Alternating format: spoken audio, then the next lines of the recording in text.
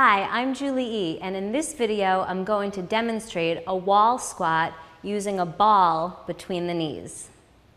There's two ways to do this exercise.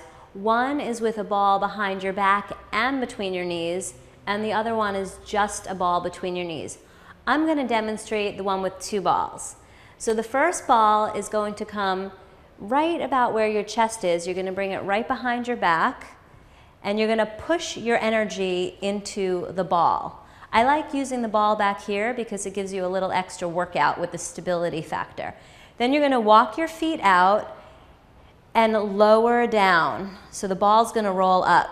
Lower down till your hips are almost as low as your knee, but we're going to use my core force, so we're going to have that less is more range of motion, so don't go too low. Squeeze the other ball between your knees and make sure that you're in a straight line here from your shoulders to your hips. And then we're gonna turn on the core four. So standing in your feet and standing in your energy in your back.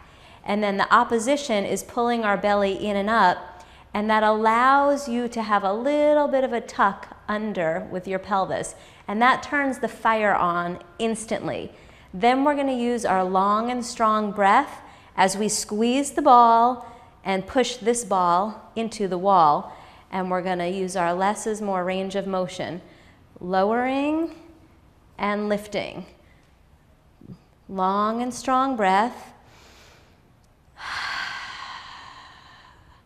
Working our butt, our inner thighs, our outer thighs, our back, our hips, a little bit of shoulders, and absolutely our abdominals.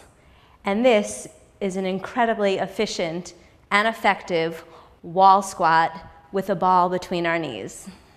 I'm Julie E. and have a very healthy day.